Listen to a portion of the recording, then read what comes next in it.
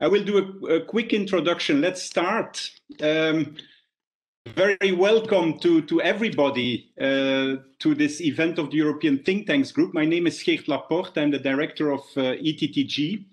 And we are very happy that so many people uh, really took the trouble to join, the time and trouble to join us for uh, this event this afternoon. Uh, before I hand over to the panel and the moderator, uh, allow me to say a few words about ETTG, the European Think Tank Group, and uh, this event. For those who don't know ETTG, ETTG is an independent network of six leading think tanks in Europe. We have a secretariat in Brussels, and we have uh, the leading think tanks on Europe's sustainable development agendas, international cooperation and foreign policy agendas in the major capitals of the European Union. So we work on a variety of topics ranging from the green transformation, security and resilience, uh, trade and economic cooperation, migration and mobility, uh, democratic governance, and other topics related to the Europe-Africa agenda. Uh, we facilitate dialogue, we organize several events, uh, and I think we have quite a strong convening power also with a group of some 350 experts in the different European uh, capitals and in Brussels. Uh, so this is uh, ETTG, and I would say, um, why did we organize this event? Uh, I think the main reason is that we are in very exciting times, not only because of COVID-19 and the major implications on Europe-Africa and the Europe-Africa partnership, but also there is a lot going on these days. As you probably know, we've uh, tomorrow a mini uh, European Union African Union summit in Brussels. And we just concluded a few days ago the post Cotonou negotiations. And all this uh, is quite important also for the discussion that we will have today, because today we will discuss the MFF negotiations, the NDICI instrument, the MFF negotiations that will also be going on and hopefully concluded by the end of this week because there will be more discussions on this. And we will focus today on uh, the particular topic of the uh, Neighborhood Development and International Cooperation Instrument. What impact will this instrument have on Europe-Africa relations, on EU-ACP relations, and on the EU's international cooperation agenda in general? I would say that this is the background against which we wanted to organize this uh, event, uh, particularly at this time in uh, the year. So we will take stock today of the progress made with regard to the negotiations on the NDICI and the outstanding issues that still need to be resolved. And of course, we will also discuss how the programming process will be organized. Um, before I hand over to my colleague Alexei Jones, ECDPM colleague Alexei Jones, who will moderate, who will facilitate the discussions and will introduce the different speakers. I would just like to uh, mention a few housekeeping rules. Be aware that this event is recorded. Eh? We uh, uh do not stick to a purely uh, Chatham House agenda. We are too many, and it's good that also other people can have a look at the discussions of today later on. So uh, the record of this meeting will also be on the ETTG website. Um, we will also ask you to mute your microphone as much as possible, which will improve the quality of the sound. And please unmute your microphone only when the moderator will invite you to speak. And if you wish to ask a question during the question and answer sessions, you can send a message in the public chat. In addition to your question, Please also mention your name and organizations. That's always useful for the other participants in this debate. So on behalf of ETTG, we look forward to an exciting debate, and I'm happy to hand over now to Alexei Jones. Alexei. Thank you, Geert. Um, thank you for these uh, welcoming and uh, opening remarks. Uh, thank you also to you and uh, the ETTG team uh, for an excellent collaboration in organizing and setting up uh, this event, which I'm sure will be very exciting. And uh, I'm Alexei Jones, Senior Policy Officer at uh, ECDPM, and um, working on precisely some of these issues we will be talking about today. And it's an honor and a privilege for me to moderate uh, today's webinar with a, great panel and on such an important and timely topic, uh, programming the NDICI in a post-COVID era. An important topic indeed, because programming uh, is a crucial decision-making process whereby the EU institutions, and namely the Commission and the EAS, will decide about the priorities, the modalities, and the financial amounts uh, to be allocated to uh, partner countries for international and development cooperation around the world. A timely topic, obviously, also because we find ourselves at a critical juncture between, on the one hand, the final stages of the negotiations of what will be the main EU instrument for international and development cooperation, the so-called NDICI, NDICI, NDICI, still different ways of pronouncing it. But uh, this instrument will be a major innovation and uh, tool for EU international and development cooperation. And also, at the same time, we are just uh, beginning the, the, the programming, the formal programming exercise, which will define where and how much uh, resources will be spent for the period 2021-2027. So the challenges uh, and context of this programming exercise are unprecedented, so to say the least. Uh, not only are we in a more contested and volatile world where the EU's role and influence as a global player is under constant pressure, but also because sustainable development goals and global challenges altogether call for a significant upscale of the level of ambition and of action of the EU externally. And as if this were not enough in terms of challenges, the COVID-19 pandemic and its socio-economic and geopolitical consequences bring even more complexity, even more uh, of a sense of urgency also.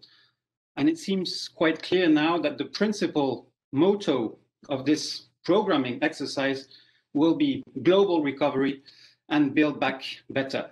And in doing so, the EU will need to address the sharp increase in poverty and the resulting needs uh, in terms of human development from health, education, social protection, as well as to strengthen uh, preparedness and resilience for future similar crises. The EU will also need to promote a more interest-driven cooperation and advance its own strategic priorities. Uh, you know what these are. The Green Deal, digital transformation, economic growth, peace and security, migration. But while it does so, while it promotes its own strategic priorities, the EU should not lose sight of the spirit of equal partnership that it intends now to promote and the principle of country ownership that is attached to it. And an important element that should help the EU to strike a balance between, on the one hand, the promotion of strategic interests, country ownership, and global solidarity is to ensure that the EU programs and implements its cooperation activities through an inclusive and multi-stakeholder approach. And with that, I just framed more or less the key issues that uh, I would like us and the panelists and the audience all to engage and uh, address today human development, country ownership, multi-stakeholder approach, all feature among the priorities and principles uh, that should guide the programming of the NDICI. Yet one key question, which is at the center of today's discussion, is to what extent will these priorities and principles remain prominent throughout the programming exercise? So that's the question. And in order to discuss, address exchange and debate around that. We have a great panel with us today. Uh, I will briefly present our speakers and give them the floor in a minute. So Felix, Mr. Felix Fernandez Shaw, Director for International Cooperation and Development Policy at the European, uh, Commission, European Commission's DG DevCo. Uh, you are also in charge of uh, leading the negotiations and also the programming of the NDICI. Um, we also have with us Celia Cranfield, Policy and Advocacy Coordinator at Concord Europe, the European Confederation of Relief and Development NGOs. We have also with us Carine Nsoudou, Director of the Africa Europe Diaspora Development Platform, ADEPT. And last but not least, Mr. Niels Keijzer, who's a senior researcher at the German Development Institute and also a fellow member of ETTG. So before I give the floor to our speakers, uh, I will just recall the basic uh, housekeeping rules that were also um, presented by Geert uh, and invite all our participants to please keep your microphones off uh, so as to avoid any noise disturbance uh, through, throughout the, the, webinar. And also invite uh, and, and, strongly encourage the audience to use the chat box to react, to engage and ask questions uh, during the whole session. There will be a Q&A uh, session uh, at the end, during which we'll take questions from the audience. Uh, and when you do put questions in the chat box, again, please present yourself, your organization, and also indicate if the question or the comment uh, you have is for a speaker in particular or for the whole panel. So without further ado, I will now give the floor to uh, Felix uh, to update us on where we stand with regard to the NDICI negotiations as such, and also what are your key points uh, with regard to the programming exercise. Felix, the floor is yours. Hi, um, Alexei, um, and hi everyone. Thanks to Geert and to uh, all of you, the ETTG um, and the colleagues for coming in in in such big numbers. Um, I I I think I would skip my introduction and refer to Alexei's introduction. He did it very well. Uh, he said most of what I wanted to say um, including the three possible names for NDICI. Uh, if you have a name for NDICI, please send it over.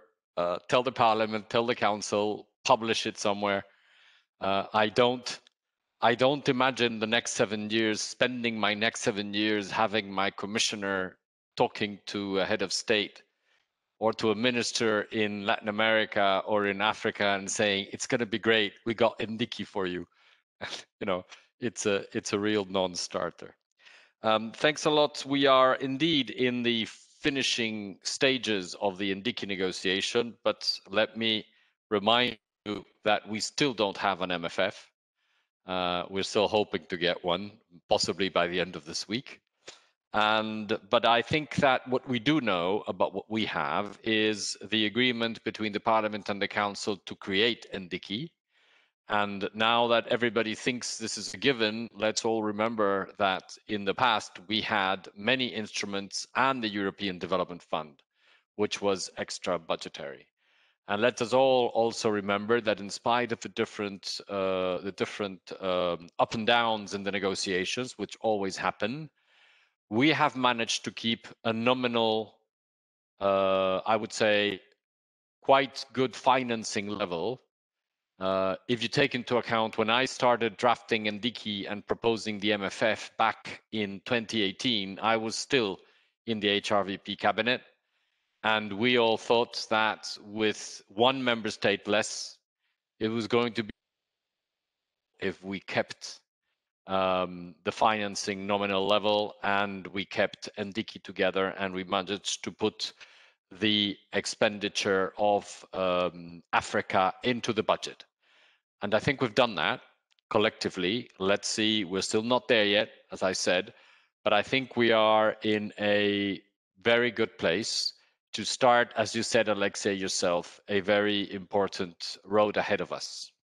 Now, of course, the programming has started, uh, even if uh, um, the NDICI negotiations are not there yet, and we don't have a regulation to govern the whole the whole process. But of course, we all know that Senegal will always be there and that we will have a bilateral international cooperation and development budget with Senegal. So we don't need to wait to have the physical negotiations finalized. We are already working and talking with the Senegalese government in order to see what is it that they want and what is it what we want for the next seven years in our bilateral development uh, relationship. Um, the uh, road ahead, uh, as you, I think, said in your invite, uh, the um, the programming has been launched. We've been working for quite some time on what we call the pre-programming, having a first, uh, uh, let's say, dry run of what we think should be the priorities. And I think you have stated them quite well, Alexei. Uh, the Green Deal, uh, peace, governance and human rights, migration, jobs and growth, and digitalization. But I think you've uh, probably it comes from uh, you know reading reading a bit uh, uh, a lot of the let's say commission literature, which comes in very handy. But I think there are a number of other issues which we're not going to stop doing because this is what needs to be done. And also, this is what our partners are demanding uh, that we do. And that is, of course, human development, education, health, social protection. This is, of course, uh, still there uh, and still very much need.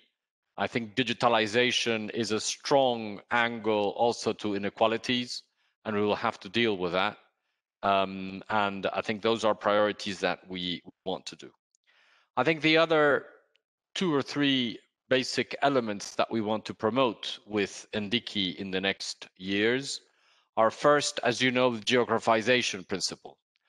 Precisely this morning, uh, Koen and I were speaking to a colleague from a member state, a prominent colleague from a member state, who was asking us about geographization and all this talk about geo priorities, thematic priorities, and who go who does what where and why. And I think what we have proposed in NDICI is that the large majority of the programs go geographic. However, what we, mu we must lose sight of is that when they land in a country, their landing is thematic. And this is a matrix mix that is culturally complex to implement because we come from a system who had which had many geographic programs but also many thematic programs um, we have to implement it in a way and program it in a way that not only responds to our priorities uh, but also responds to partner countries' priorities, uh, and and and that needs to be thematically, let's say, thematically squared. Uh, and I wanted to to to to make the point because I know that there's many um, there's many comments out there about the thematic priorities of the Commission and the programming, and I think. Um, I don't think they they you know they've evolved as you have said yourself, but let me let me reassure everyone once you land geographically landing is thematic. Uh, you you you do digitalization in a country. You work on human development in a country. There are of course some exceptions there are programs who do not have which do not have a real country landing because they are um, they are uh, global by nature they they look at global issues. And there are also some specific thematic programs which we think we want to keep uh, a bit separate uh, from the geographic landing. I'm referring to the human rights and democracy and to the civil society programs continue to exist.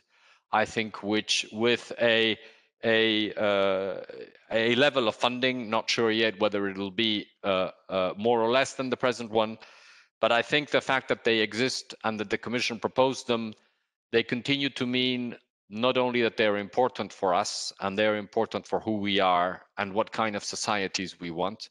I think they are important for people in our partner countries, and that's why we keep them separate from the um, from the uh, geographic programs. I would also add that as we've started programming, apart from the principle of geographization, we need to look a bit more now into how to do it better with the member states.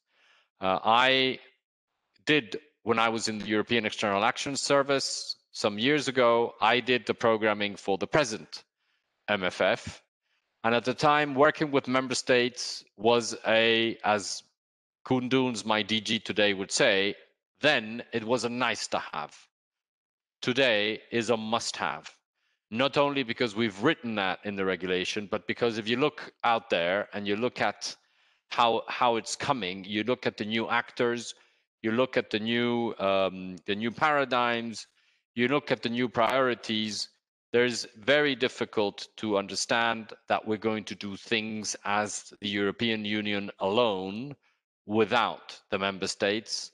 And that's why we not only have promoted joint programming, but we have promoted Team Europe uh, you've seen Team Europe in the uh, response to COVID. This has now been, uh, uh I would say, quite successful. Uh, uh, I'm, I'm, of course, open to, to comments and suggestions. And we are looking into extending Team Europe more widely. In fact, the Council, under the German presidency, has agreed on a text on Council conclusions.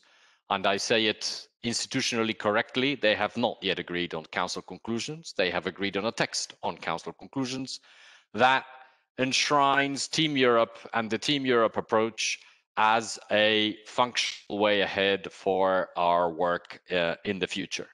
And I think it's important to note that we don't need to get obsessed about joint doing things doing things jointly um, uh, we need to be uh, more obsessed of doing things as a team and uh, pre presenting and promoting Team Europe as a way of doing things and a way of increasing our influence and our impact at country level.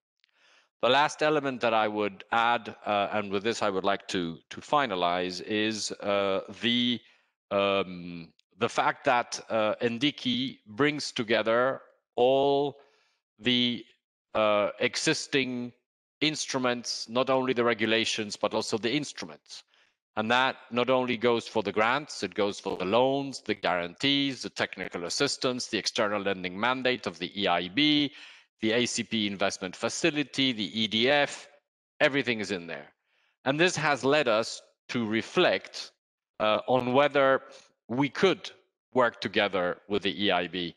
We could work together with the guarantees to promote reforms, to combine our budget support um, with other forms of implementation on investment, where we could also combine it with civil society and how the civil society will participate into those pro programs.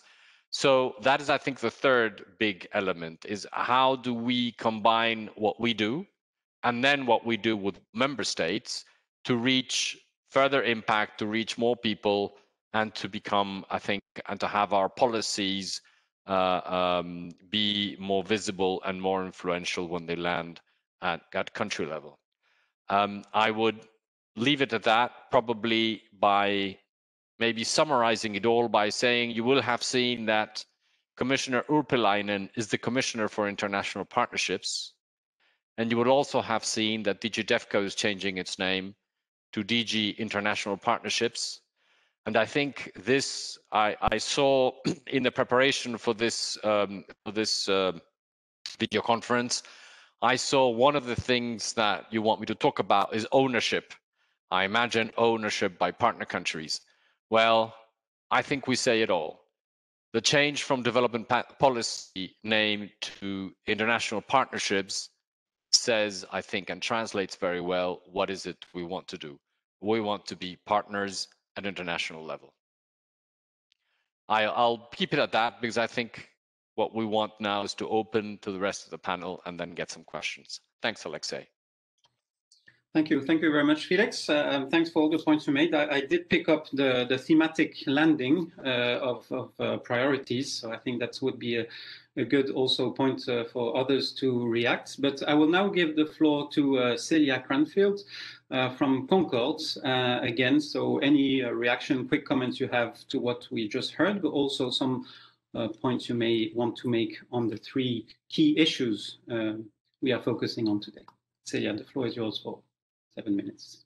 Thank you, Alexei, and, and thanks to the European Think Tank Group uh, for inviting Concord to this discussion. I think it's quite an important one.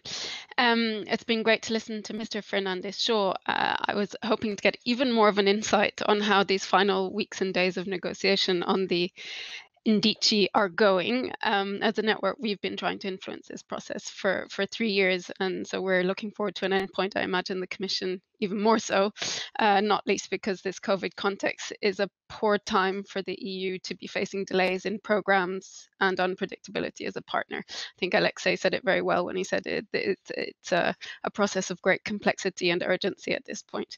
Um, as for a name, we could maybe come back to it. I think Concord would have liked to see it called the Sustainable Development Instrument. So I'll just throw that out there while I'm here.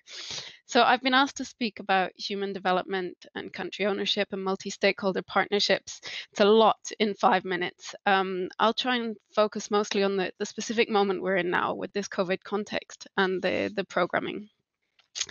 Uh, from a civil society perspective, obviously. So, since the proposal from the NDICI came out, Concord has been calling for actually strengthening the allocations on human development and the thematic program. So, hearing uh, the Commission really emphasizing that point just now was was, was quite encouraging.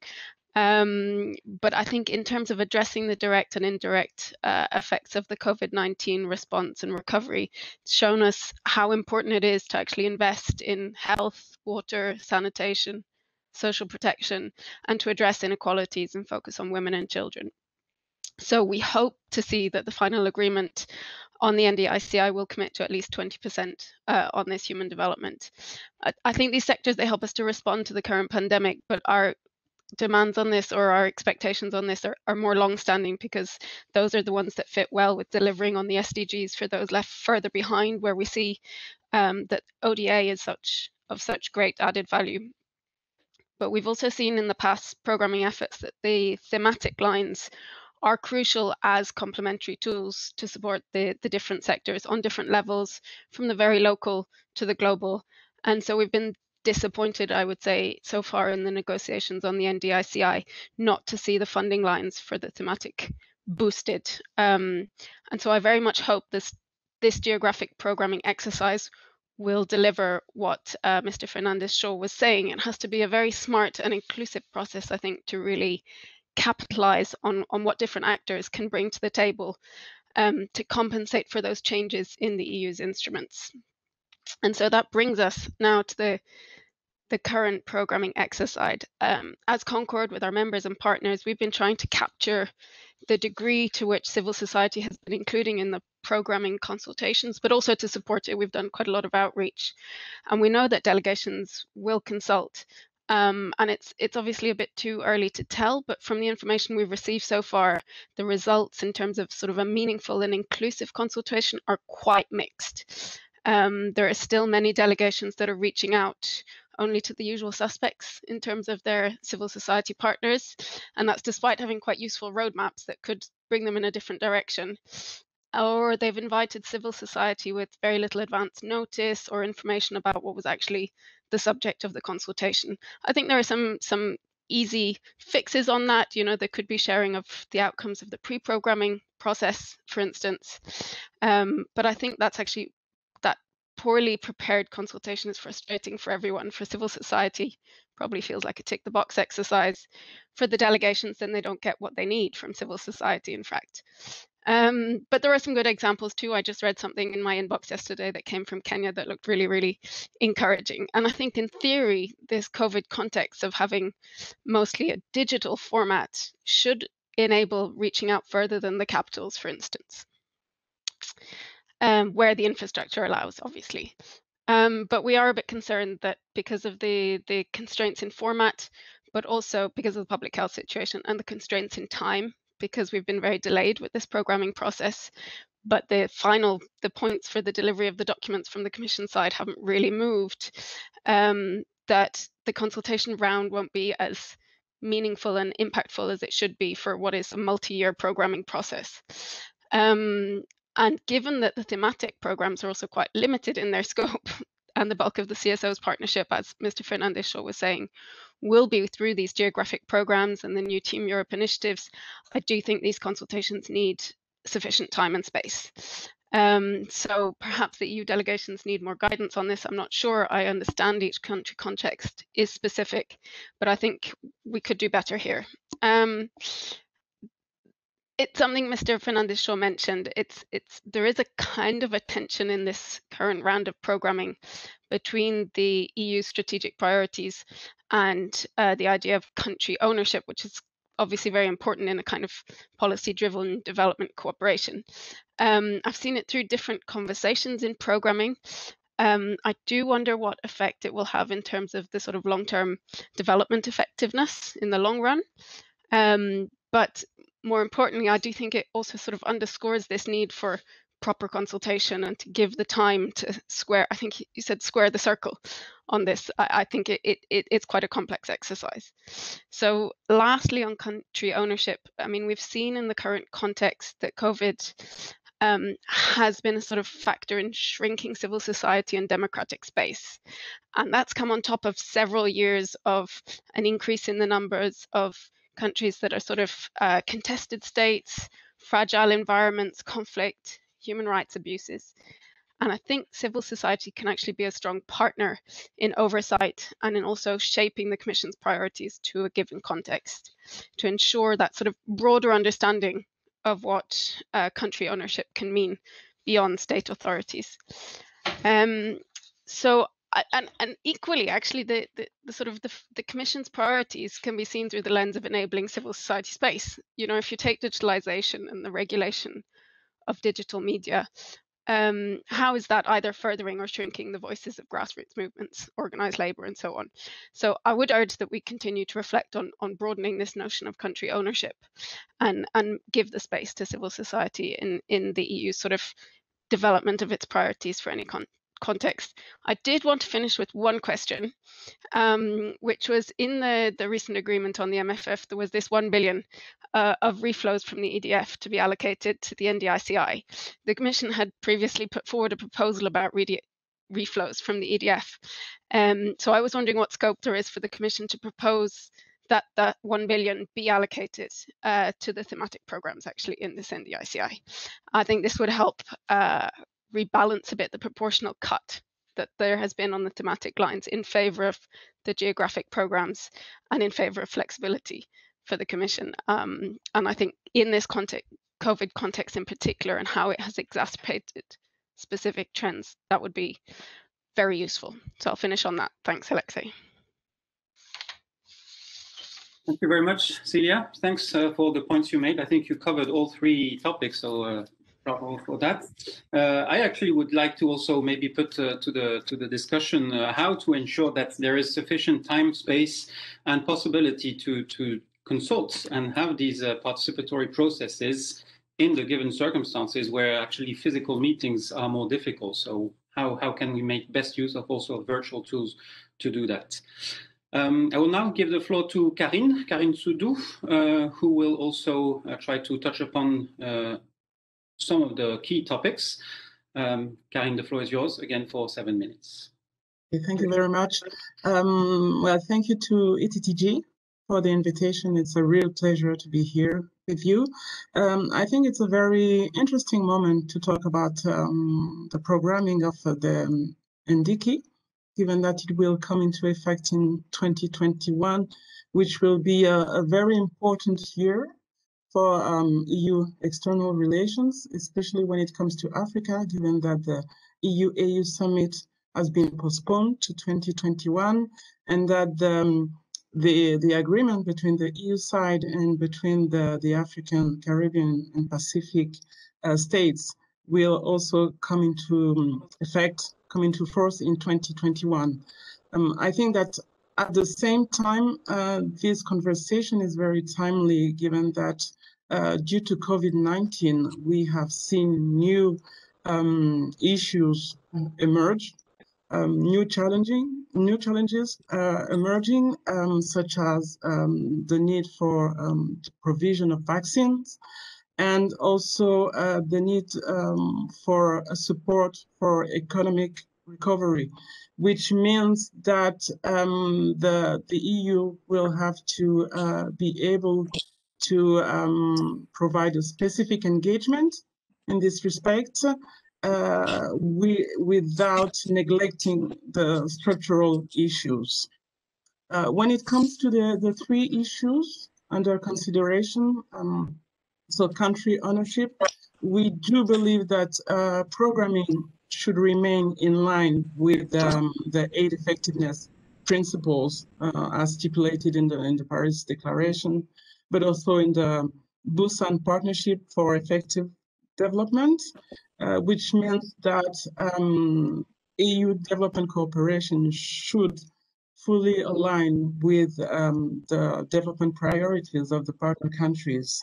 And here we can see a potential tension, uh, which was already uh, stressed by, by Celia and by Alexei, but between the policy first principle uh, that is to underpin EU external action and uh, the principle of, of country ownership.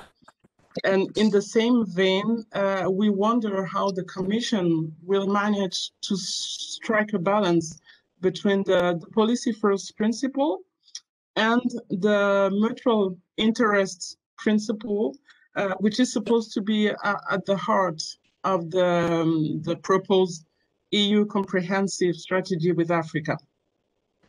Uh, when it comes to uh, human development, to, to um, um, poverty reduction, uh, poverty reduction and sustainable development are um, some of the main objectives of the EU external action, and, and we think that it should remain the same, which um, should imply sustained support for health, uh, for um, education, vocational uh, training, social protection. But it, it, it raises the, the question as to whether investment, as um, focused, as emphasized in, in the NDC, um, are the, the appropriate funding modalities uh, when it comes to addressing these uh, development challenges. And, and to us, it, it also begs the, the question of uh, the focus on migration, given that uh, a, a, target has been set when it comes to migration. And, and the question is to know if the funding dedicated to migration will mainly cover uh, border management, security, or mainly address what we call uh, the, the root causes of, of migration. Um, another question related to migration is um, how the EU will manage to properly uh, integrate the nexus between migration and development in EU development cooperation. Uh, lastly, when it comes to inclusiveness, so we we we do believe that uh, in tune with uh, with Busan that I mentioned before, and and also with the SDG 17. So we believe that a fully inclusive approach should be preferred. That multi-stakeholders partnership uh, should be strongly supported, given that we know that um, a good collaboration between uh, civil society, between think tanks, between local authorities, private sector, can lead to um, innovative approaches. Uh, we can already see that when it comes to the private sector, um, on top of, of course, the trade and investment, we can see that uh, the private sector can provide a very effective support to entrepreneurship development, which is particularly important in, in Africa. And uh, uh, as you probably know, um, the Tony Elumelu Foundation has been very active in this respect. Uh, we also uh, believe that a, a, greater importance should be given to diaspora. Uh, we know that uh, remittances are the largest source of external financing for low and middle income countries, that the remittances exceed ODA, and that it is very important to find a, a more effective way to, to involve diaspora in development cooperation. Uh, and we think that um, the EU should find a way to uh, not only tap into diaspora financial capital, uh, be it remittances, investment uh, and philanthropy, but also um, to tap into human capital of the diaspora. For example, when it comes to knowledge uh, transfer. And to this and uh, we believe that uh, clear guidelines should be developed. Uh, it was already the case for civil society, and, and, we are convinced that the the, the Commission uh, can can elaborate uh, such um, guidelines. Um, on top of this issue, I wanted also to raise um, the, the, question of the geographic approach. Um, I think that the current situation uh, with the COVID-19, uh, the fact that um, collective action has been praised for its uh, effectiveness, that it calls into question this um, this geographic approach. Uh, I prefer using this term because so far um, thematic programs have funded, um, for example, uh, Gavi, uh, the Global Fund, and, we think that it's very important to have uh, thematic programs well funded um, in order for the EU to be able to, to properly respond to global challenges, and, and COVID-19 is a good example of this. Um, another question that uh, deserves to be raised, according to us, is um, to know how the NDICI will enable um, a stronger EU-AU partnership uh, at a time when Africa is diversifying its partnership uh, with China, of course, but also with uh, Turkey, India, and so on and so forth. And that, um, on the other hand, there is no dedicated financial instrument or no dedicated program for continental Africa. And, and this applies also to the EU ACP relationship, given that with the creation of the NDICI, the EDF will disappear. And so there will be um, no financial vehicle for this partnership. I, I, will stop there for the moment. Over to you, Alex. Thank you, Carine. Um, thanks for, for the, all the points you made. Um, and I think what comes up also uh, in echo with what uh, Celia said earlier is the need for clear or clearer guidelines on how to involve different uh, stakeholders. And you mentioned uh, explicitly private sector. We also had a question on that, and, and in particular the diaspora. So maybe we could also keep that for the discussion later. Uh, I will now give the floor to Niels, Niels Keijzer, um, who will uh, also say probably a few words uh, on, on the issue of uh, country ownership in particular uh, and development effectiveness, uh, also linking that with some of your recent work on these topics. Niels, the floor is yours. Thank you, Alexei. So um, I asked Alexei if I could be the last speaker because then I could present when it's dark. I rarely get to do that. Um, maybe just the remarks I prepared. Um, just on the name. So there are three schools. Huh? You have NDICI, you have NDICI, and you have NDICI. Um, a couple of years ago, especially around 2018, people were still referring to the single instrument. I always thought had a nice, mysterious, and fundamental ring to it. So I might even refer to the single instrument a couple of times. Um, but yeah, uh, I have a couple of general remarks, and then indeed, as you announced, Alexei, a few observations on ownership. Um, normally in panels like these, you say that that this discussion is timely, and it definitely is. It might even be timely, because indeed the uh, the regulation is still under negotiation, um, and our seven-year budget framework is being held hostage by two of our member states. Uh, so we will only know by the end of the the, the week, and hopefully a bit sooner, uh, what will happen um, to both. Um, so maybe this is what what being a Brexit commentator is like. You have to uh, talk about what you know, but there's a great deal that that could still go either way. Um, maybe to start, that the single instrument, the NDICI, represents a fundamental reform for the EU's development policy, its neighborhood policy, and its external action more broadly. Uh, we have regional and thematic approaches, specific modalities that until recently lived their separate lives, now sharing a, a single legal roof. Um, and that implies a steep learning curve which has been quite challenging uh, to make during the past few months when most of us were stuck at home talking to screens.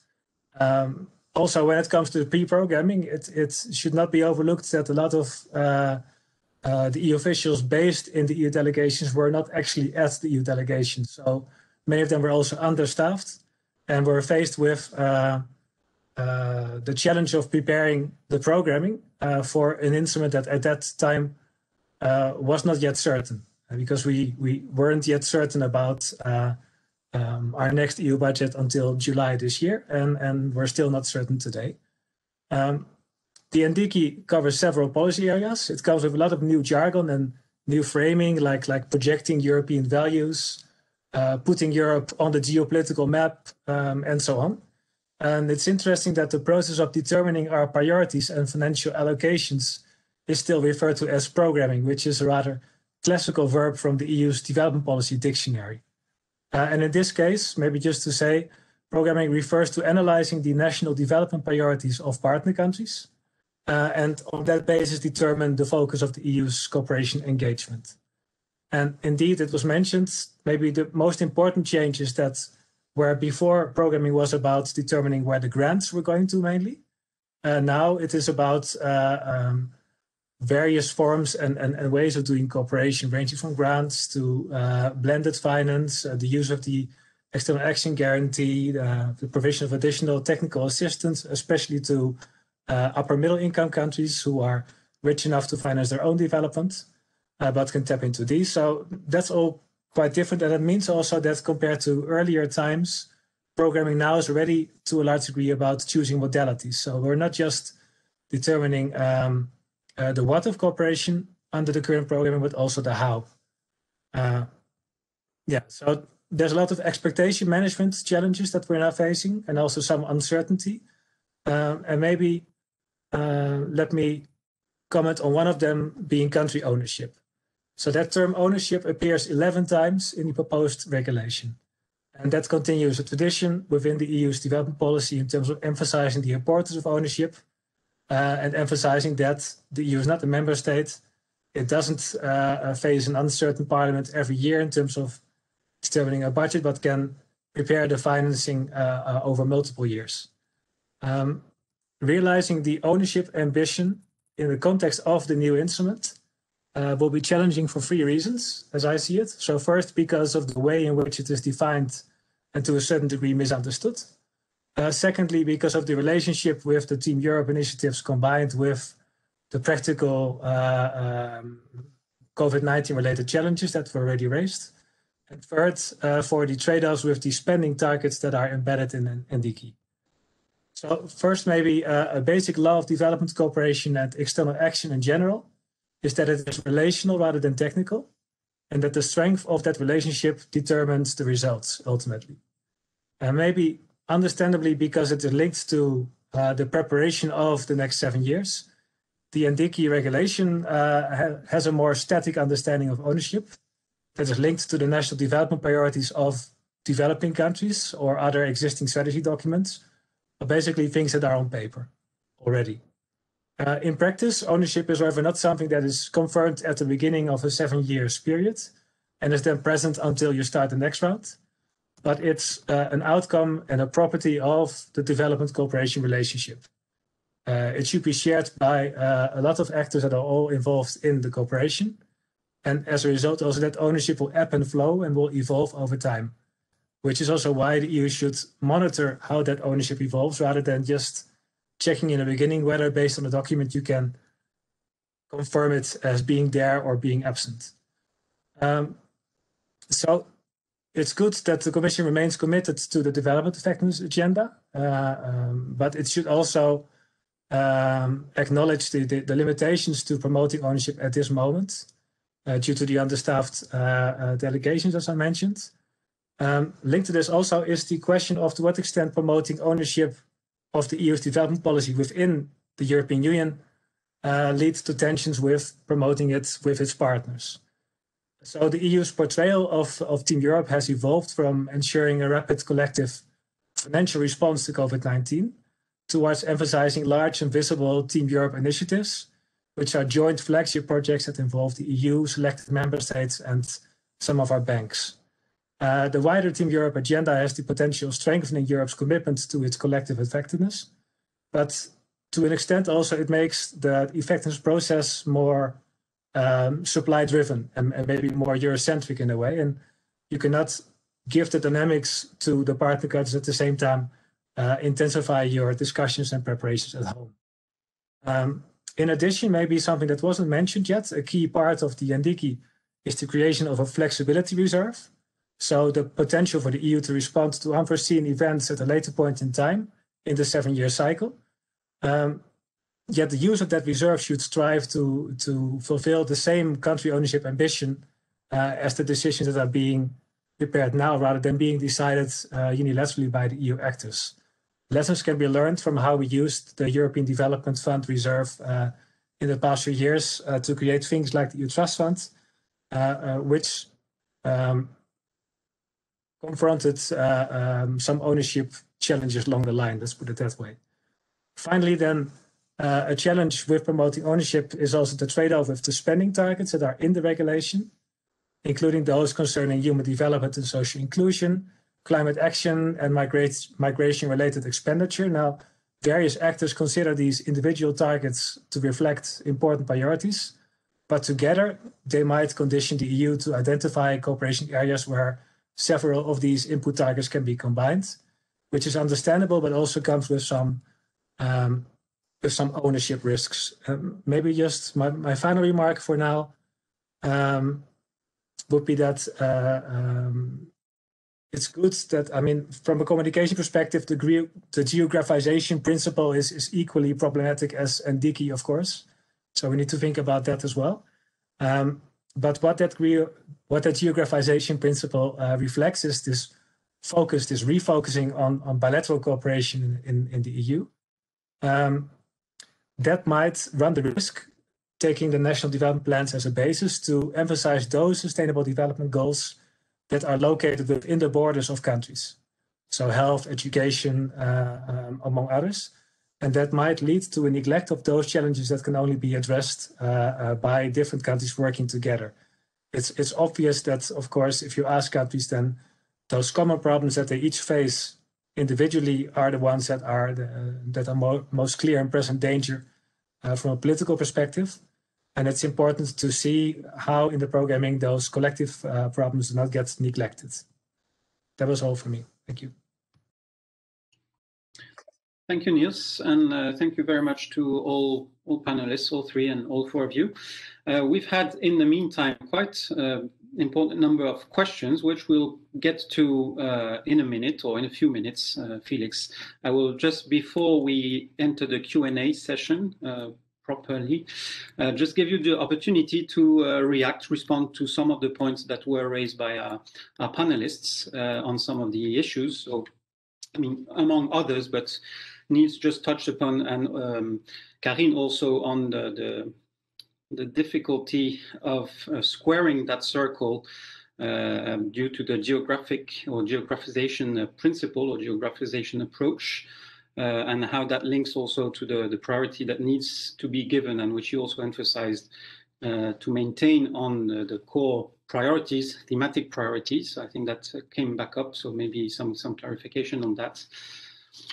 Um, yeah, and I think probably also what we would like to discuss uh, in more detail is also the, the question of uh, the involvement and the participation of, of other stakeholders, which uh, has received still, I think, a mixed experience uh, so far.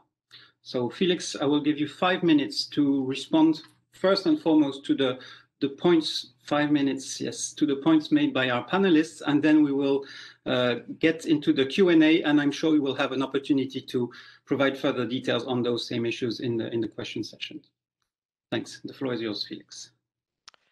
Okay, thanks a lot, and thank for some of these. Um, I mean, these questions are they're not difficult to answer. They're difficult to tackle because this is exactly um, the whole the whole point of many of them. Um, I mean, the the the dilemma between uh, thematics and geographics.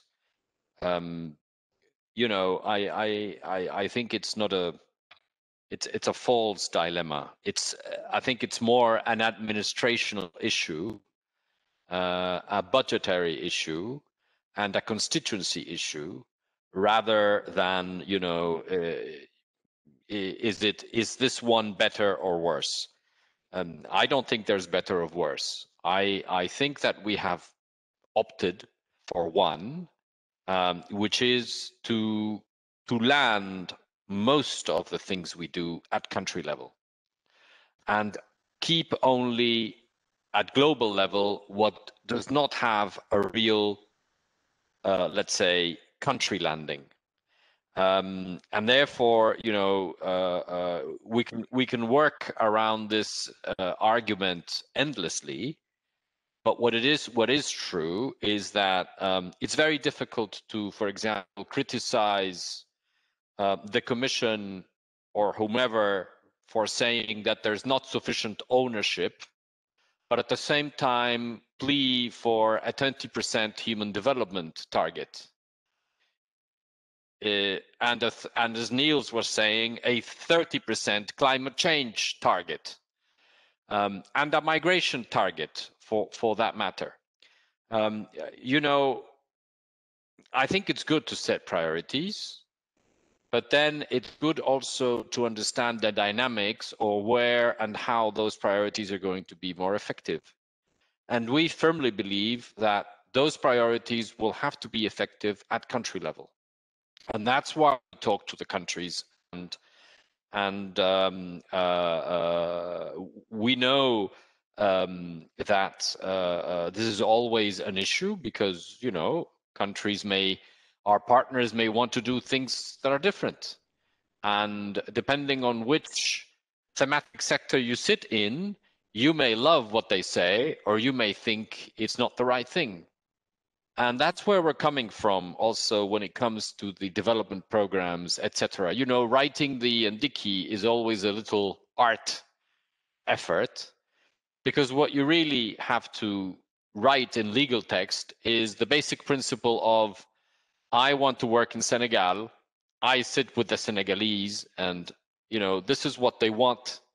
This is what they have prioritized in their national development programs, in their political programs. There can be a government program adopted by parliament, which is not called the national development program.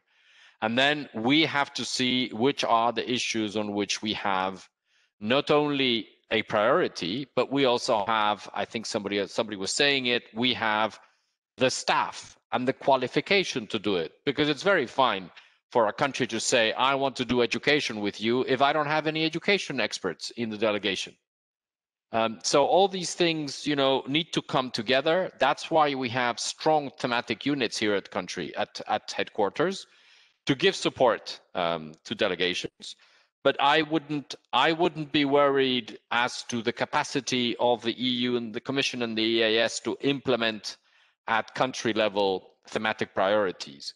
I I would side with you in in making sure that um, that you know as we start landing the programming and starting the implementation, um, that we really uh, really do what we set out to do.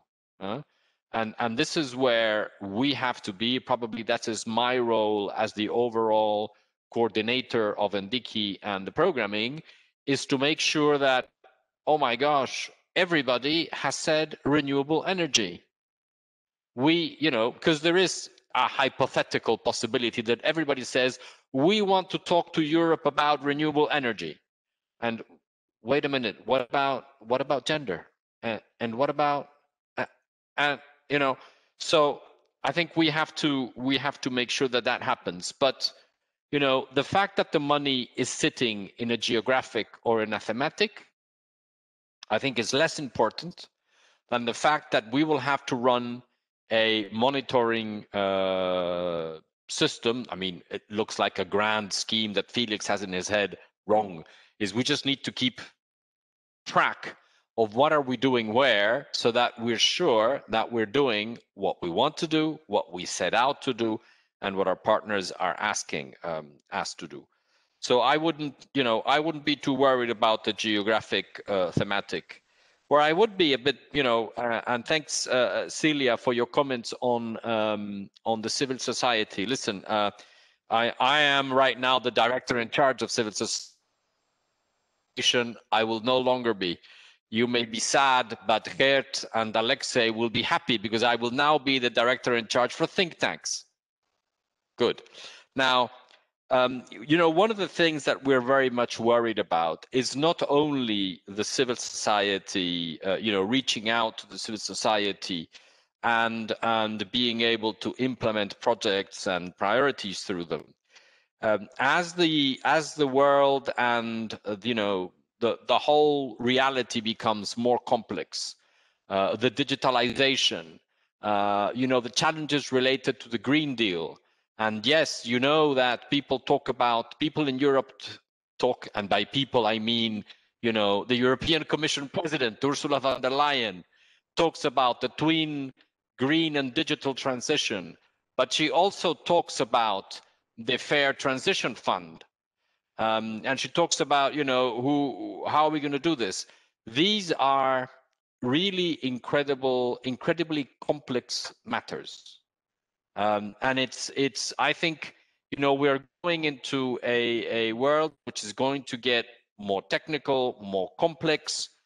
And one of the priorities that I think we should be having is vis-a-vis -vis the civil society is one to monitor accurately the shrinking space. As you said yourself, COVID is cannot be a good excuse or, or even a bad excuse uh, for that. So we have to monitor that. But the second thing we have to do is we have to enhance the capacity of the civil society to follow these conversations and intervene. I don't know, uh, you know, I mean, I, as you can all see, I'm getting into a certain age. Um, you know, it's quite difficult for me to follow the word, uh, the world of the Green Deal the transition from fossil fuels into renewables, the complex socio-economic challenges of shifting to zero carbon. Uh, you know, we all thought that doing video conferences and teleworking was a horrible invention. Uh, this we thought until only February. And here we are. We're all digitalized and we're not aware of the complexity that means. I think the civil society, if the civil society wants to play the role it it belongs to the civil society in in the society as a participant, if transitions, if options, if national debates are going to be participated by the civil society, the civil society needs to know what we're talking about. And frankly, sometimes I hesitate to say that I know what I'm talking about. Um, uh, when it comes to real some technical issues which involve choices between, you know, do we go natural gas or do we go renewables? Do we go broadband with, you know, connectivity?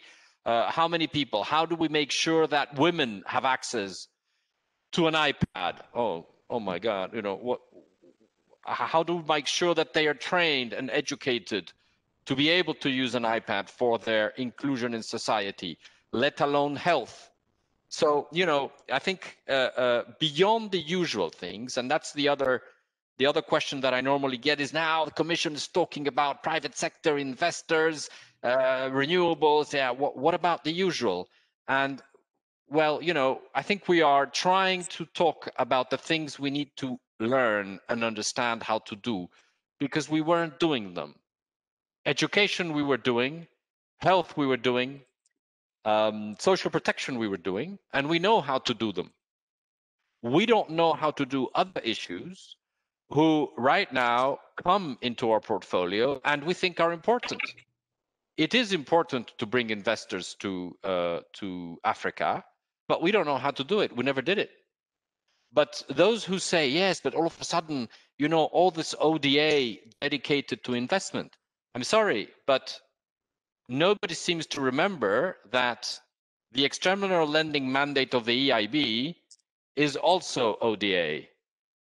And the fact that it was managed by the EIB in the past and is now into NDICI has not changed the priorities. It's just that everything is NDICI. In fact, it has made the work of the EIB more transparent and more accountable through NDICI. And that goes for the EIB as much as it goes for KfW or for um, for whomever. I Felix see Alexei is getting worried about the timing.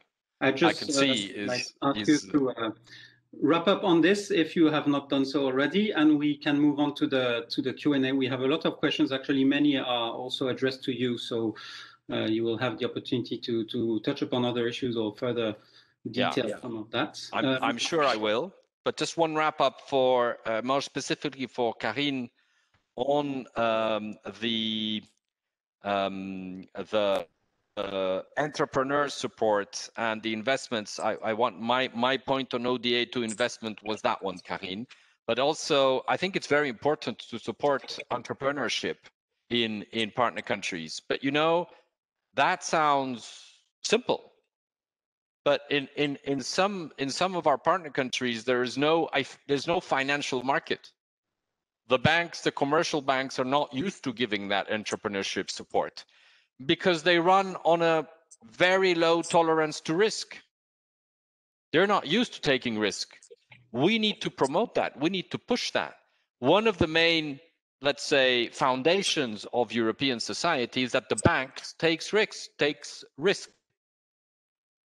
If if they don't go out and take risks, there is no money circulation for entrepreneurs to do that. At the same time, entrepreneurs sometimes do not have the necessary training or formation to go to banks and present properly or plan proper projects. This is also something we should be doing. And I know, for example, in the civil society, you have ICA, the International Cooperative Alliance, who is really working on that through its all cooperational uh, cooperatives network throughout the world. And I think that's that's the kind of thing we also need to think about. I'm done, Alexei. Thank you very much. Thanks, uh, Felix.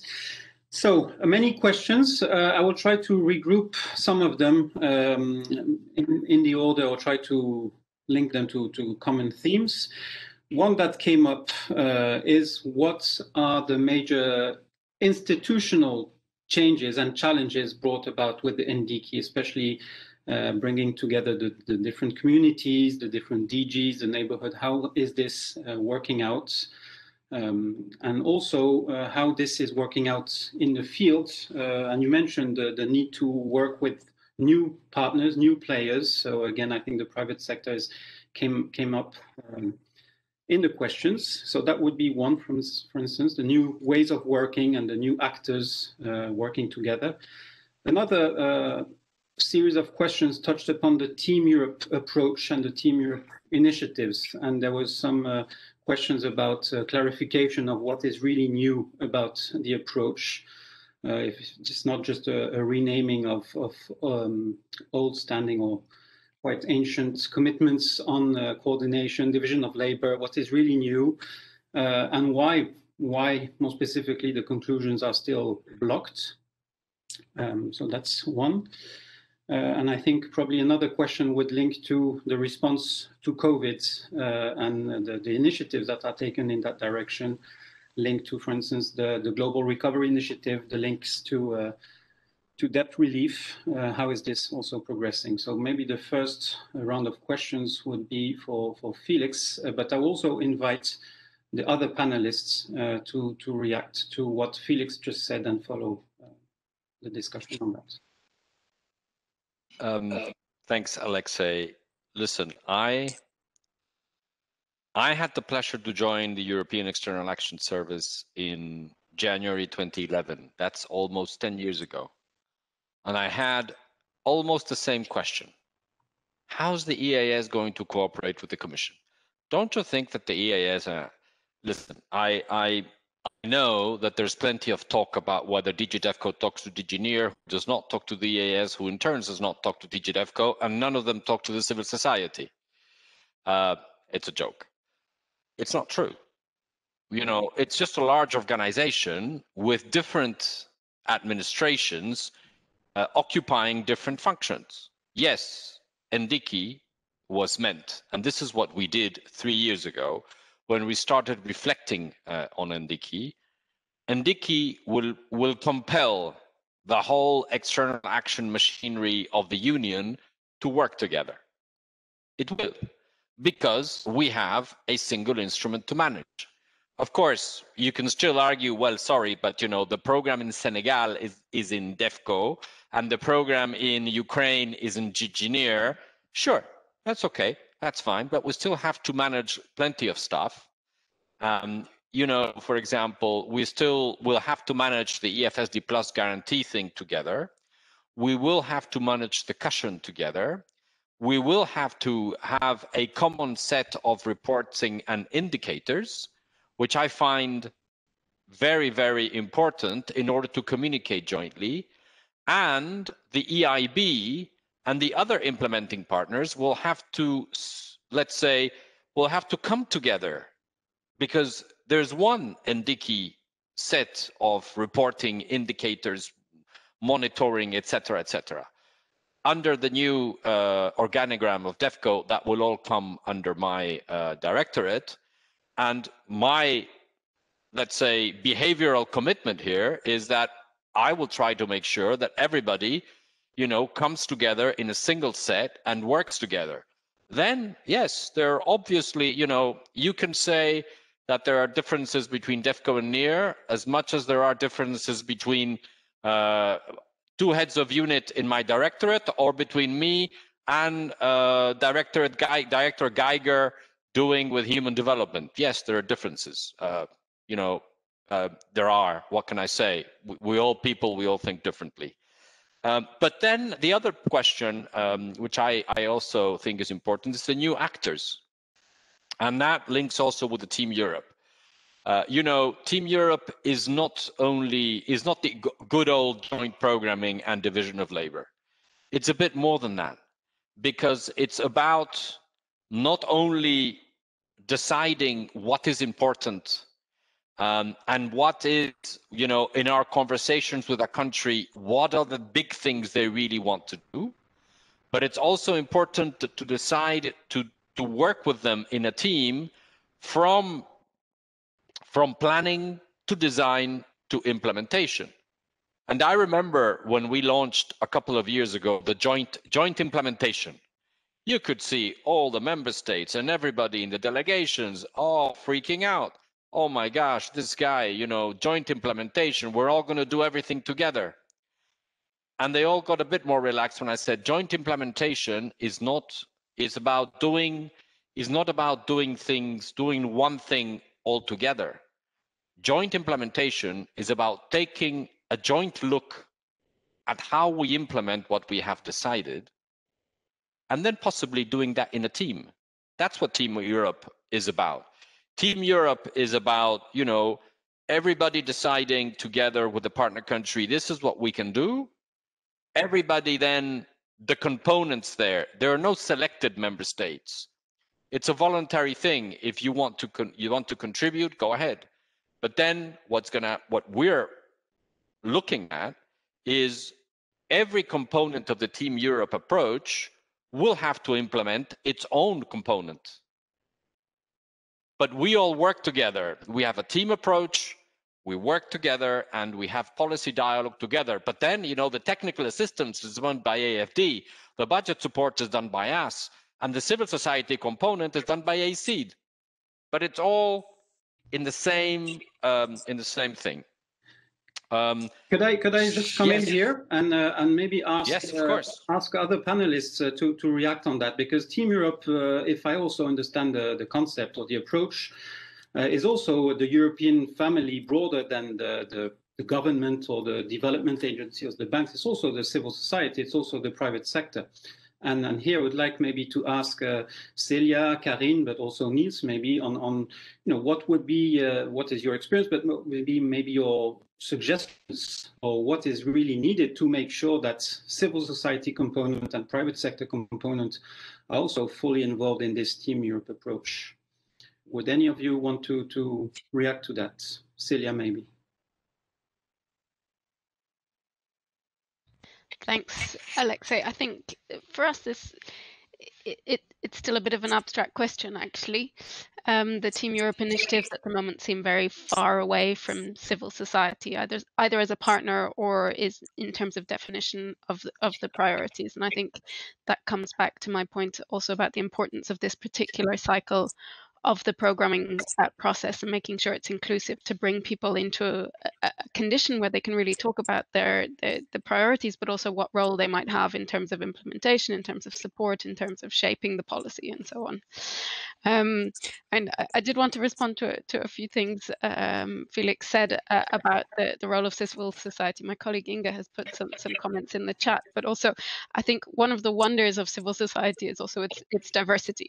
Um, so I think the European Commission should not be so worried that um, there is no expertise within civil society on various technical questions. I think we all need a bit of humility about where are the limitations of what we know. Uh, but I think between uh, all the different types of civil society and the levels of grassroots movements and, and more organized forms of civil society, there's a lot of knowledge and capacity out there. Um, and the question is more is how does the Commission bring that in both as a partner in implementation and, and dialogue in a way that bridges the difference between the EU, a very sort of large bureaucratic institutions, and the realities that the people working within civil society face. And I think that's that's a, a challenge for everybody to to try and overcome that gap somehow. Um, uh, there are specific things also on capacity that obviously are needed at this particular moment in time. You know, there are places where civil society really needs support technically how could they counter um, shrinking space digital different aspects and so on. Um, I'm also a little bit less worried about the targets, perhaps, and and and the don't think there's necessarily a contradiction um, on on human development and, and country ownership. I think the targets that are there, most of them, um, probably not on migration, I would say, are very aligned with the, the EU's obligations um, and commitments on, on sustainable development and, and human rights and poverty eradication. Um, and they, they can only support, uh, I think, how, how that uh, development cooperation should work. And I would like to come back to a question actually a little bit on how um, this partnership of equals uh, really will look in the in the future, and and maybe not just with partner countries, but with with uh, the the the other actors in in the field around them. Thanks. Thank you, Celia. Um, Carine, would you also want to react to the, the questions we put forward, but also, of course, you have also read uh, some of the comments coming in or what um, Felix has said yeah, yeah. I, I, wanted to ask a question concerning joint programming uh, because I'm wondering how the NDICI will allow better cooperation between the EU and, and its member states uh, on the ground.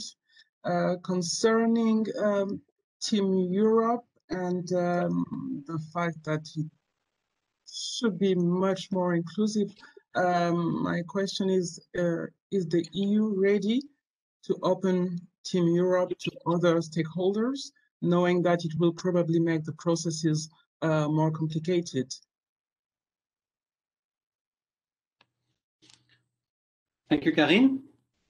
Um, Niels, actually, I would like, if I need to come back to this uh, this point uh, on the on the tension between the, the ownership and the targets, which I think is is some see there is a tension, some see there isn't. So I think you pointed to the fact that yeah, we need to find a, careful balance uh, in that. Um, would you have anything to to say more on this? And also, you discussed uh, about the contradiction or the tension as well with the Team Europe yeah, I mean, um, maybe rather than a tension, we could call it a trade-off. So rather than saying um, you've got a load of topics in your national development plan and we can we can take any of them to work on, it's likely that uh, uh, the EU will like to nudge them towards some of these priorities that are actually uh, covering some of these spending targets. I mean, to really overdo it, you would have uh, um, border management programs targeting education uh, for climate resilience. I mean, you, you could think of kind of really, really weird projects that you are pushed into just to tick the boxes.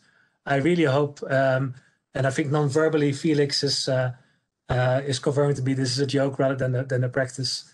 Um, but uh, but there is going to be a certain box ticking tension, or uh, I mean that's maybe too negative a connotation, but but there's a need to be held accountable in these choices by these various spending targets that that have been proposed by the Commission and the External Action Service to be included in this legal basis. Um, maybe on on Team Europe, um, maybe the big difference with the earlier division of labor complementarity approach is that in that earlier agenda we put the initiative more with the partner country. So it should be primarily under their leadership um, that the EU should engage in um, dividing labor and, and having each member state and the Commission working on those areas of which the partner country concerned thought that member state had a comparative advantage. I think that idea is still very true, but was, I mean, it did not occur in many uh, places. Um, and that was always the bit that that was actually a tension between to what extent the EU should be coordinated or should coordinate itself. And that tension is still there and is also there in the Team Europe initiatives. Um, I still think that I have the impression, at least as somebody who is not an official actor and is not in all the meeting rooms, um, but that the initiative for having these Team Europe initiatives clearly comes from Europe. I mean, the name indicates that. Um, now, no doubt, many countries would would would welcome certain flagship projects, and and and, and it's probably seen as as as helpful initiatives. I mean, to take the one on the on the African uh, continental free trade area, for instance, um, that is welcome. Um, but I don't think there has been like like a dialogue to to determine the best possible topic for such initiatives per country. Um, but again, just my impression. Uh, just just going through the topics. Um, uh, South Africa should be eligible under the regulation uh, because it was eligible under the development cooperation instrument before. Um, the NDICI should be the legal basis for cooperation with the African, Caribbean, and Pacific countries. But once concluded, the new uh, post-Cotonou agreement would uh, rather structure the relationship, govern it. But actually, the, the, managing of the funds, the legal basis for that, and the decision making around it, that is the NDICI. Um, and that is, of course, a big departure from the previous situation where, you, where we had the European Development Fund as the dedicated means of implementation for the Cotonou Agreement and the preceding Lomé conventions, as well as the funding of the uh, of the OCTs. Um, and there was one question also. Um, I mean, I think it was under PBOX where uh, the EU decided to to increase its funding to regional organizations, um, and that under NDICI they actually go in the reverse direction, um, where they um, have a lower ambition for directly funding regional organizations, but they rather uh, um, want to um, fund cooperation on regional topics. But that would rather be, I don't know, um, Botswana and Namibia having a, having a joint project or something along those lines, rather than going through the door of COMESA or or uh, or ECOWAS to to fund such cooperation. That's maybe from my side. Thank you, Niels. Uh, thanks. I will give back the floor to you, Felix, uh, maybe to respond to some of the points that just came up uh, in this uh, last round, uh, and maybe just to follow up uh, on on what Niels just mentioned on the the, the post Cotonou. one question that came was what actually are the changes foreseen, and that is also linked to the question of ownership, not only in the team in the design of Team Europe initiatives, but the principle of ownership. Uh, what are the changes foreseen with the, the, the, the, budgetization of the EDF and all the, the approach uh, that was, or the principles of uh, co-management and the role of NAOs, which, uh, which will presumably uh, disappear with that. So if you could finish with these, these few points. Yeah, yeah. thanks. Um, I I have the feeling in, in some of these conversations that we're overemphasizing uh, a number of things that then, you know, it's it's very difficult for me to be told that I'm not doing sufficiently ownership and then to be told that I only talk to governments, I don't talk to civil society locally. So we need to make up our minds. Um, you know, our instructions to the delegations is talk to everyone, you talk to the government, but you also talk to the civil society and to the private sector. Um, you can also talk to the European civil society if you have them there. You can also talk to the European private sector. Now, I reckon that this last element makes people a bit more nervous, but I don't see why, if we talk to the European civil society, we should not be talking to the European private sector. But coming to the ownership point, um, you know, you can change all you want in the legal basis. Our political relation with countries stays where it is, um, and and we speak to the partner governments, we speak to the civil society, and then there's a balancing act between what a partnership is, a partnership between a partner, a government, a country, incorporating society, incorporating parliament, incorporating their overall political priorities, but also their needs and how do they assess where uh, Europe would be better placed to support their sustainable development. This is what we do every day. This is what delegations are doing every single day. Then you need to have a conversation at some point of where do you do things best. And what we have realized in the past is that we can do a bit of everything everywhere, which is okay because we don't know we you know I, I don't think we we we are doing things that are wrong, but sometimes you're doing too many things too thinly. And there has been, as Niels was maybe implying, there has been a conversation on Team Europe initiatives.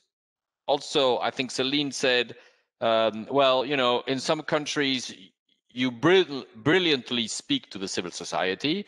In others, it's rather a failure, I would say, or she would say.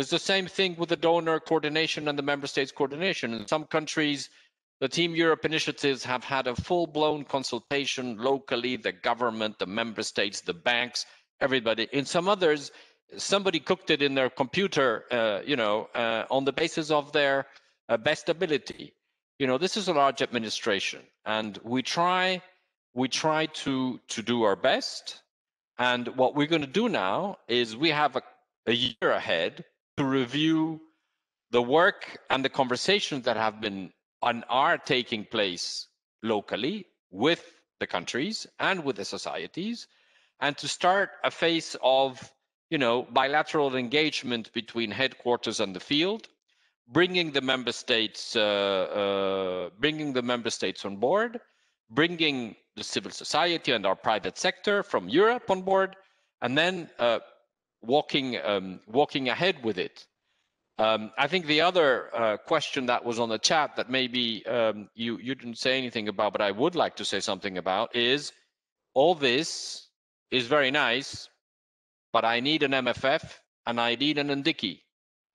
Uh, maybe I also need to change the name. But if I don't have NDICI, I will not be able to put money uh, uh, in movement in 2021. And mind you, uh, with COVID and not only the sort of, let's say, the health issues related to COVID, which are different depending on the countries, but the socio-economic impact of the global crisis and its lockdown the, the consequences of that are precisely the worst moment to you know continue the negotiations on the MFF for Europe. We all see what's going to happen in Europe, but also for external action. It's exactly the worst moment in time to start talking and start having conversations about who does what where. When what I need to do is start having conversations with partner countries and start, you know, putting the money uh, on the table to support the recovery. Last but not least, recovery is the question from Michaela, um, and uh, and also very happy to see lots of friends in the chat, um, which I say hi to. Uh, but um, you know, recovery is is is going to be very complex, and not only in Europe. It's going to be complex all over the world. So yes, we do need to look at debt relief because you, we have a big debt sustainability issue. But at the same time, we cannot choke investment at the time when countries are suffering. And, you know, we have to be careful with the debt discussion and we have to be careful with uh, trying to bring investments. But, you know, it's all written. If you look at the Addis Ababa Action Agenda, the financing for sustainable development, I think my line here would be it's not all about keeping money in circulation and bringing money and investments and resources to partner countries uh, development regions It's also about investing in the right things because the and I'd like to finish with this the fantastic amount of money public money taxpayers money that we're going to put on the table in the next 2 years is unprecedented. All the public financing that's going to put on the table at the same time is unprecedented. Well when my kids are will be my age they will continue paying that back. And maybe when they are my age in say 30 years time they will say well it was fantastic because my father's generation took the right decisions and led us into a zero emission world and a digitalized economy that took care of the people. Or they would say you know what? They screwed up. They continue invested in things that produce co2 and here we are 30 years after paying and cleaning. That's where I think we need to talk about. Thanks. Thank you. Thank you, Felix. Thank you, Celia, Carine, and uh, Niels. Thank you all for your input, your contribution, also your responses or reactions to one another. I think that was also the intention of the of the exercise of this webinar. So thank you for all engaging and thank you also very much to the participants who were uh, very numerous today. We had a lot of uh, comments, questions. I hope that more or less we addressed most of the points that were uh, put in the chat. Uh, and with that, I will, uh, yeah, I think reiterate what Felix also said that none of this can actually happen if the, the NDICI and the MFF are not finally approved. So I think probably the next few days will be crucial to that end. With that, I will end this webinar, uh, not before thanking again all of you participants, but also the team, the ETTG team and ECDPM uh, colleagues who've been uh, very uh, helpful in uh, setting up this uh, webinar, which I hope was also very useful for all of you. Um, and if we do not see or speak to each other before that, I wish you a nice holiday in the next few weeks. Bye. Thanks so much. Thanks. Bye. Take care. Thank you. Bye bye. Have a good evening. Merry Christmas. Merry Christmas. Everyone. Happy New Year. Likewise. Thank you. Hi, Felix. All the best. Thank you. Hey, so Haifa, how are you doing? I'm good. How are you? I'm doing great. I'm you know, still here. I should my give house, you a call and we lovely house. Excellent. Whenever you want. My pleasure. Thanks, Felix. Cheers, eh? Bye, everyone. Bye. Bye, James. Andrew. I see you in the chat. Bye, Geert.